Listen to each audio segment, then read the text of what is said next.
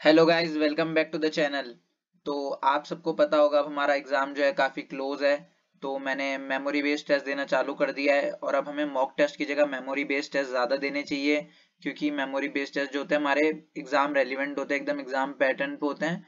जो, जबकि mock test जो होते हैं, हमारे वो थोड़े हार्ड साइड पे रहते हैं, जिसकी वजह से हमारे स्कोर जो है थोड़े कम आते हैं तो हमारा मोराल डाउन हो सकता है। तो ये मेरा जो था, ये पिछली बार का thirteen July twenty twenty one का शिफ्ट वन का पेपर था। टेक्स्ट बुक का ये जो है मौका है। टू थर्टी नाइन इसमें मेरी रैंक आई है। लगभग एट्टी टू थाउज़ेंड लोगों ने ये एग्ज़ाम दे दिया है। नाइनटी पॉइंट टू फाइव मेरा स्कोर रहा है out of hundred ninety nine मैंने अटेम्प्ट करे थे। बस एक मेरा क्वांट में मुझे आया नहीं, वो मैंने कहा थोड़ी कोशिश भी करी, फिर टाइम अप हो गया, वरना तो हो जाता, पर थोड़ा लंबा था। फिर 92 परसेंट इसमें मेरी एक्यूरेसी रही है और 99.7 प्लस मेरी परसेंटाइल रही है which is a very good percentile तो आगे देखते हैं इंग्लिश में मेरे 25 स्कोर रहा 30 मैंने अटेम्प्ट करे थे, चार गलत थे इसमें। मैं अभी आपको दिखाऊँगा भी मेरे क्या गलत थे और मैंने क्या गलतियाँ करी, ये पूरा डिटेल्ड एनालिसिस होगा। और उसके बाद मैं आपको टिप्स भी दूँगा कि कैसे आप अपने जो एग्ज़ाम है उसमें आप 30 प्लस अटेम्प्ट कर सकते हैं लगभग लगभग तीनों सेक्शंस में। इंग्लिश में मतलब ऑब्वियसली 25 प्लस बाकियों में 30 30 प्लस अटेम्प्ट कर सकते हैं एटलीस्ट, और आप कैसे ओवरऑल स्कोर जो है अपना वो 80 प्लस ला सकते हैं। तो इस वीडियो से बन, जुड़े रहिए, वीडियो को एंड तक ज़रूर देखिए, और अगर चैनल पे नए हैं तो चैनल को सब्सक्राइब कीजिए, ये वीडियो पसंद आई तो वीडियो को लाइक कीजिए। तो अभी देखते हैं तो इसमें मेरे 25 आए इंग्लिश में मैंने 30 अटेम्प्ट करे थे, चार क्वेश्चन गलत हो गए 16 मिनट लिए थे मैंने इसमें आराम से किया था, वरना वैसे पेपर इजी था इंग्लिश का थोड़ा पैरा जम्बल हल्के से ट्रिकी थे। लास्ट में मेरे दो गलत हुए, वही। मेरे को D C A B E लग रहा था डी सी ए ई भी था शायद ऐसा कुछ था। अभी देख, दिखा दूँगा मैं आपको। और क्वांट में मेरे तीन गलत हुए। एक जगह मैंने जिसको मतलब वो डी आई थी, उस पर मैंने कुछ अलग ले लिया, और मेरा आंसर उस, इसमें थोड़ी लैंग्वेज भी गलत दे रखी थी मेरे हिसाब से उसकी। या मैंने थोड़ा गलत समझा, और थोड़ी गलती हो गई, अभी दिखाऊँगा भी आगे। रीजनिंग मैंने सारे के सारे अटेम्प्ट किए, सारे सही थे हंड्रेड परसेंट एक्यूरेसी थी। सत्रह मिनट से भी पहले मैंने अपना जो रीजनिंग है वो सबमिट कर दिया था। सिक्सटीन फोर्टी नाइन में लगभग सबमिट कर दिया था। फिफ्टी टू मिनट मैंने पूरे पेपर को अटेम्प्ट करने में फिफ्टी थ्री मिनट लगभग। नाइन्टी टू परसेंट मेरी एक्यूरेसी रही नाइन्टी नाइन अटेम्प्ट करे और नाइन्टी पॉइंट टू फाइव मेरा स्कोर रहा, जो कि पिछली बार कट ऑफ़ मेरे हिसाब से मेरे स्टेट की एट्टी वन थी। तो उससे नाइन मार्क्स एक्स्ट्रा है which is okay not very good but it's still good तो अगर चैप्टर्स वगैरह मैं अभी आपको दिखा देता हूँ कि एवरेज और वो क्या रहा था तो मेरा 90.25 स्कोर रहा टॉपर जो फ़र्स्ट रैंक था उसके 100 आउट ऑफ़ 100 थे इसमें। कितने लोगों के, इसमें तीन लोगों ने तो 100 भी स्कोर किया वेरी गुड विच इज़ और एवरेज इसमें जो रहा वो 49.5 के अराउंड बैठा मतलब वही 50 के आसपास का एवरेज रहा है, जो कि इतना ही रहता है, लगभग 80 परसेंट एक्यूरेसी ठीक है 53 करेक्ट, वही नॉर्मल जो रहता है, वही था। हमारी स्पीड एक्यूरेसी और रीजनिंग सेक्शन आपको बताऊँगा तो इसमें काफ़ी इजी था। इसमें देखिए एवरेज यहाँ 49.5 है मीडियन आपका लगभग लगभग यहाँ पे है। मतलब पंद्रह हज़ार एक सौ बच्चे लगभग यहाँ पे लाए कर रहे हैं, जो कि एवरेज स्कोर रहता है। 55 से लेके 77 यानी मतलब वही 50 से लेके 75 के अराउंड बीच में जो है, वो ज़्यादातर बच्चे ही हैं। इससे नीचे वाले रेस से ऑलरेडी बाहर हो चुके हैं। अगर आप अभी 50 से नीचे स्कोर कर रहे हैं तो आप अब नहीं क्लियर कर सकते। और यहाँ से आप देखिए, यहाँ पे कितने कम बच्चे जाते हैं। और ये जो बच्चे हैं जो आपको ये एरिया दिख रहा है ये वाला सेक्शन मतलब जो 75 से लेकर 100 के बीच में स्कोर कर रहे हैं। ये बच्चे बिल्कुल कंफर्म है कि एग्ज़ाम निकालेंगे एग्ज़ाम क्लियर करेंगे। बिल्कुल 100 परसेंट श्योर है इनके बारे में। अब पेपर के दिन कुछ गलतियाँ हो जाती हैं मिस्टेक्स हो जाती हैं तो अलग बात है पर ये बच्चे जो हैं वो बिल्कुल कंफर्म है कि इनका पेपर निकल जाएगा। क्योंकि लगभग 5000 प्लस वैकेंसी हैं आपके 50,000 से 60,000 एटलीस्ट 60 70,000 बच्चों को छांटा जाएगा। और जो इतना अच्छा स्कोर कर रहे हैं, ईमानदारी से। अब कुछ लोग पॉज वगैरह करके भी कर रहे हैं, पता नहीं क्यों ऐसा करते हैं मॉक्स में। पर उनको हटा दें तो ये बच्चे लगभग लगभग सब क्लियर हो जाएँगे। बाकी स्टेट वगैरह पे भी डिपेंड करता है। जैसे मेरा आईबीपीएस क्लर्क में अच्छी परसेंटाइल आ रही थी, पर मेरे स्टेट में कट ऑफ़ इतनी हाई गई थी 88 या 89 कुछ कट ऑफ़ गई थी। तो ऑब्वियसली फिर उतनी हाई कट ऑफ़ भी कभी बार हो जाता है आपका। अब आपके स्टेट में वैकेंसीज बहुत कम है तो अलग बात है। पर आप अगर किसी नॉर्मल स्टेट से महाराष्ट्र साइड तो आप आराम से अगर आप यहाँ लाई कर रहे हैं तो आप आराम से क्लियर कर लेंगे। और मैं आपको यही बताऊँगा कि आप अपना स्कोर अगर यहाँ है तो यहाँ से यहाँ कैसे इजिली पुश कर सकते हैं। अभी अगर ये मेरा सेक्शन है, छब्बीस सही थे, चार गलत थे थर्टी वन सही थे, तीन गलत थे और thirty five thirty five reasoning में सही थे। अभी सॉल्यूशंस की ओर मैं अगर आपको दिखाता हूँ, कुछ सॉल्यूशंस भी दिखा देता हूँ। सबसे पहले ये सवाल गलत था। दो मेरे इंग्लिश में ज़्यादा गलत नहीं होते हैं, वैसे ज़्यादातर ठीक ठाक एक्यूरेसी रहती है। अभी तक जितने प्रीवियस एग्ज़ाम गए, उनमें भी एक गलत था, एक में दो गलत थे। तो यही अच्छी एक्यूरेसी रहती है। कंपेरेटिवली बच्चों का इंग्लिश थोड़ा वीक होता है। और मैं कुछ नहीं पढ़ता हूँ इंग्लिश के लिए, मैंने सिर्फ़ रीडिंग करी आज तक जितनी करी है। मैंने कोई इंग्लिश क्लास नहीं ली। इंग्लिश मेरी कोई बहुत अच्छी नहीं थी, किसी मैम से नहीं पढ़ा।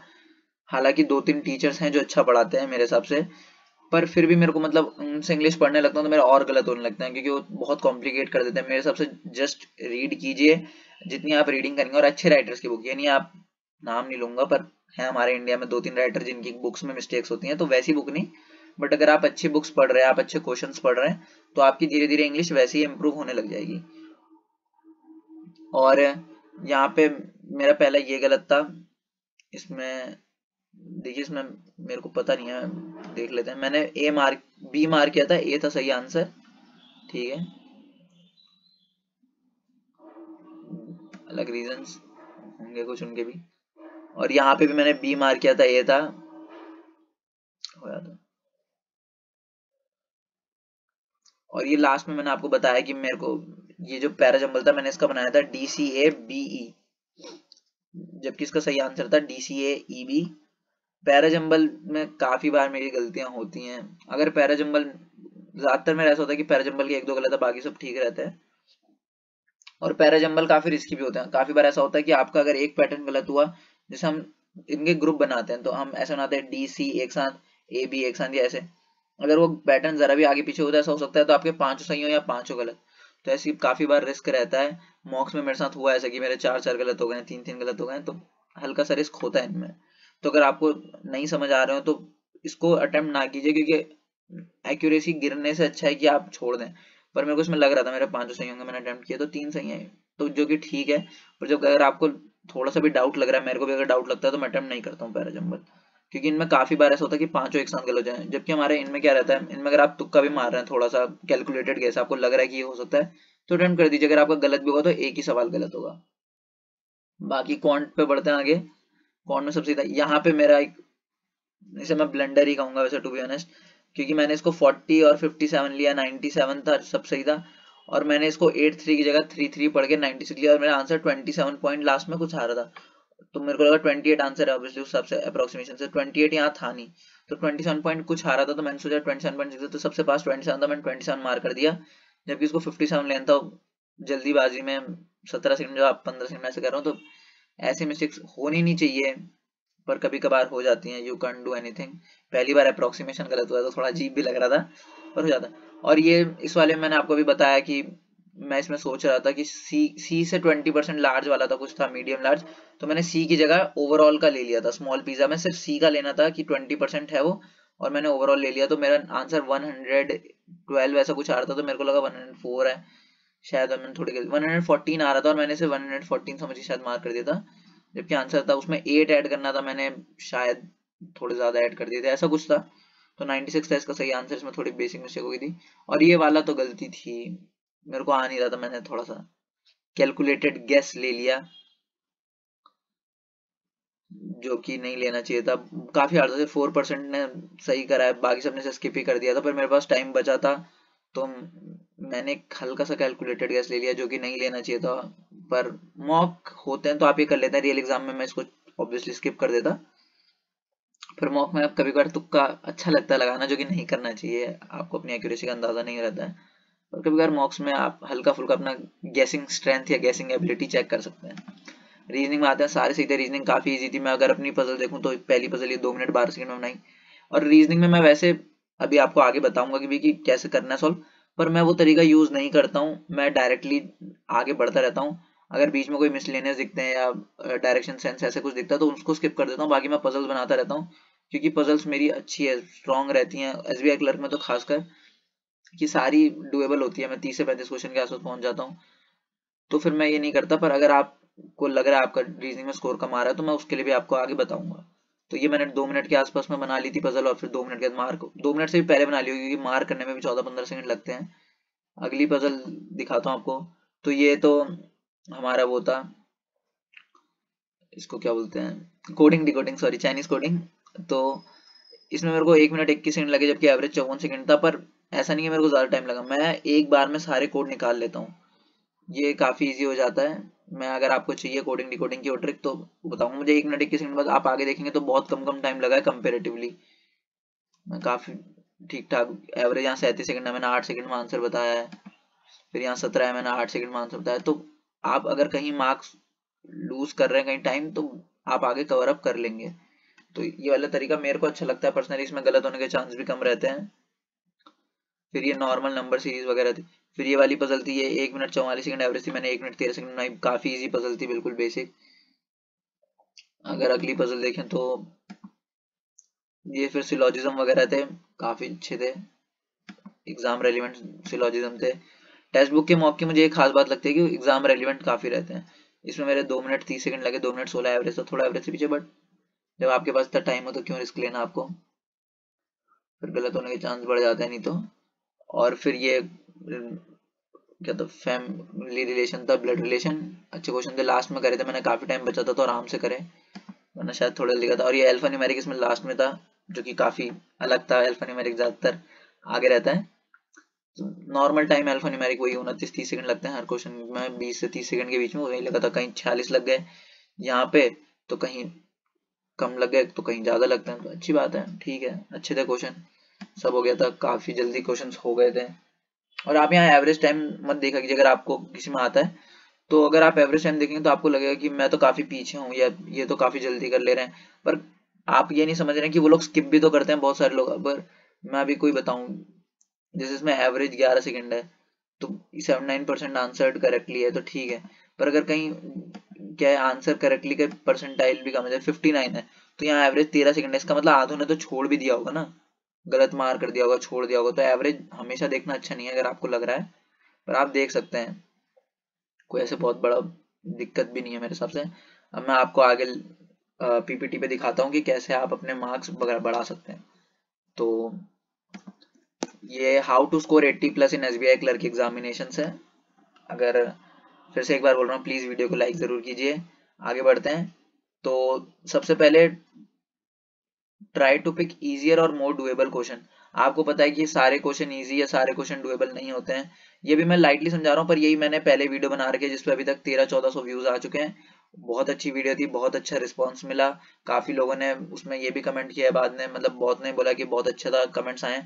उसके अलावा एक दो कमेंट आए ऐसे कि सर हम 60 से 70 के बीच में बना रहे थे। आपकी इस वीडियो से हम ऊपर चले गए कोई बोल रहा था, सर 55 बना रहा था 65 70 के आसपास अटेम्प्ट हो रहे हैं तो ऑब्वियसली मेरे हिसाब से अभी भी 70 बन रहे हैं तो आप 25 तक एग्ज़ाम तो नहीं क्लियर करेंगे। मार्क्स आ रहे हैं तो हो जाएगा, पर अगर एस सी तो भी हो जाएगा वैसे, पर अगर आप जनरल है तो नहीं होगा। पर आपके मार्क्स बढ़ रहे हैं इससे, ये बहुत सिंपल बेसिक तरीका है, जो कोचिंग्स में तो बिल्कुल नहीं बताया जाता मेरे हिसाब से, और ऑनलाइन भी टीचर्स ने बता रखा है, पर लोग इम्प्लीमेंट नहीं कर पा रहे हैं, पहले तो ये भी दिक्कत है। तो पहले डुएबल क्वेश्चन कीजिए। पजल्स और डीआई से एक बार स्किम अप हो जाइए। अगर आप नए आपके पजल आपके रीजनिंग में पंद्रह बीस क्वेश्चन बन रहे हैं, आपको ज़्यादा अटेम्प्ट करना है तो पहले स्किम थ्रू पजल आपको इजी पजल ढूँढने पड़ेंगे, आपको सिलोजिज्म बनाने पड़ेंगे, आपको इनइक्वालिटीज बनानी पड़ेंगी एल्फा न्यूमेरिक बनाइए कोडिंग डिकोडिंग बनाइए। पजल्स को लास्ट माने दीजिए। अगर आपको लग रहा है कि आपका जो फ्लोर बेस्ड पजल है, वो स्ट्रॉन्ग है, बजाय कि आपके सीटिंग अरेंजमेंट जिसमें और आप नए हैं तो आपको जो एक ऊपर, एक नीचे वाले टाइप के होते हैं, या चार बंदे कहीं ऊपर देख सकते हैं, कभी नीचे देख सकते हैं, ऐसी कुछ पजल्स हैं जो आपको कंफ्यूज करती हैं तो उनको छोड़ दीजिए। पैरेलल बेस्ड पजल स्टार्टिंग में मुझे कंफ्यूज किया करती थी तो मैं उसे लास्ट में करता था। तो ऐसे में आप कर सकते हैं कि उनको बाद में कीजिए। और जो आपको इजियर वंस लगती हैं पजल्स में, उनको पहले कीजिए, या फिर जो मैंने बताया स्पीड रीजनिंग पहले कीजिए। क्वांट में बताऊँ तो पहले स्पीड मैथ्स कीजिए। ये मत देखिए कौन सा स्पीड मैथ बस कोई भी speed math numeric number series में हो मिसिंग नंबर हो रॉन्ग रॉन्ग नंबर थोड़ा बाद में कर सकते हैं पहले ही।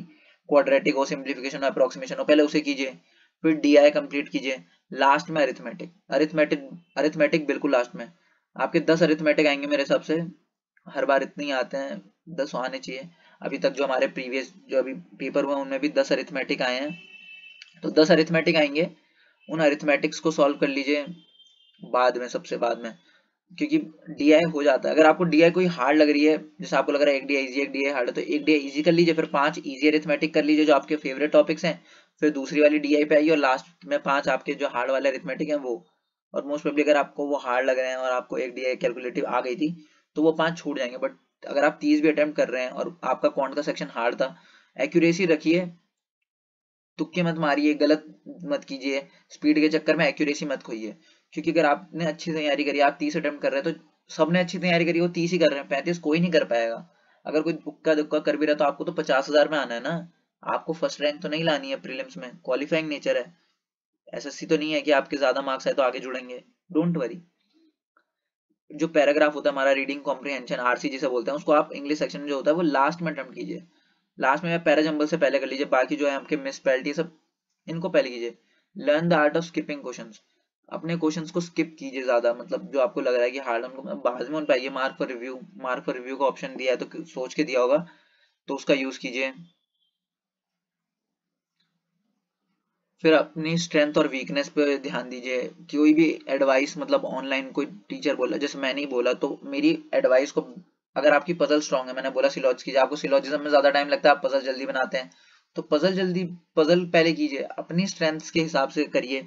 आपकी प्रैक्टिस और नॉलेज आपको क्या करिए? अब आपने अरिथमेटिक आपको अच्छे से आता है, और आपको स्पीड मैथ में अप्रोक्सीमेशन में ज़्यादा टाइम लगता है। आपकी कैलकुलेशन थोड़ी वीक है, जो कि रेयरली होगा, पर अगर आपके साथ है तो आप उसके थ्रू जाइए।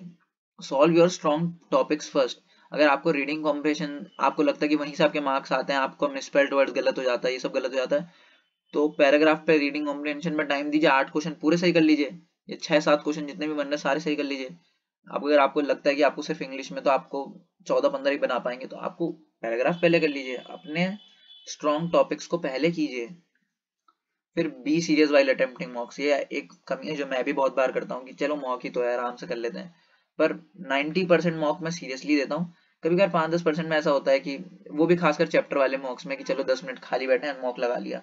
वरना अगर आपको मॉक देना तो आपको एक घंटा, डेढ़ घंटा एटलीस्ट होना चाहिए, क्योंकि आप आधा घंटा एनालिसिस कीजिए। तुरंत कीजिए, बाद में एनालिसिस कोई नहीं करता है, कभी नहीं होता है। जो मॉक्स में मैंने सोचा था कि बाद में कर लूँगा, अभी घूमने चल जाता हूँ, अभी दोस्त आ गया है, वो एनालिसिस नहीं हुआ, आज तक नहीं हुआ है। शांत इन्वायरमेंट में मॉक दीजिए। Make exam like feel at home जैसे मैं वीडियोस बनाता हूँ तो मैं अपना कमरा बंद कर लेता हूँ। लाइट्स लगाता हूँ, जब लाइट वाली वीडियो शूट करनी होती है या फिर अभी जैसे माइक वगैरह नहीं है कोई अच्छा सा, पर मैं शांत इन्वायरमेंट तो क्रिएट कर सकता हूँ ना फ्री में। जो चीज़ें पैसे दे के होती है, वो चीज़ें पैसे दे के होती है, पर जो चीज़ें फ्री में होती हैं, उनके लिए एटलीस्ट वेट मत कीजिए। कमरा शांत रखिए, भले आप कोई भी काम कर रहे हो, और do not pause mocks again and again आपका टाइम स्विच होता है। ऐसा काफ़ी बार होता है कि हमको मॉक पॉज करना पड़ जाता है। जैसे मेरे को भी अगर कभी अचानक से कुछ काम आ गया तो आपको एकदम कोई अर्जेंसी तो मॉक बीच में पॉज करना पड़ेगा। उससे टाइम इधर उधर हो जाता है। ये जैसे मैं मॉक दे रहा हूँ, काफ़ी बार घर वाले इधर उधर से आवाज़ मार देते करने पड़ते हैं आपको कुछ काम पर हर बार मत कीजिए। कभी आपने दो तीन मॉक किए, उसमें आपको एक में कौन सेक्शन पॉज करना पड़ेगा। ठीक है, आप छह बार कौन सेक्शन पॉज मत कीजिए उसी टेस्ट में। चैप्टर वाइज मॉक तभी दीजिए जब आप चैप्टर कंप्लीट कर लें, और चैप्टर कंप्लीट कर लें, आप चैप्टर वाइज पढ़ रहे हैं तो मॉक ज़रूर दीजिए। बिना मतलब में मॉक मत दीजिए, पर चैप्टर खत्म करने का ज़रूर दीजिए, वरना आपको पता नहीं लगेगा कि आपका क्या ग्रोथ है या क्या रेट है, कि आप कैसा सॉल्व कर रहे हैं।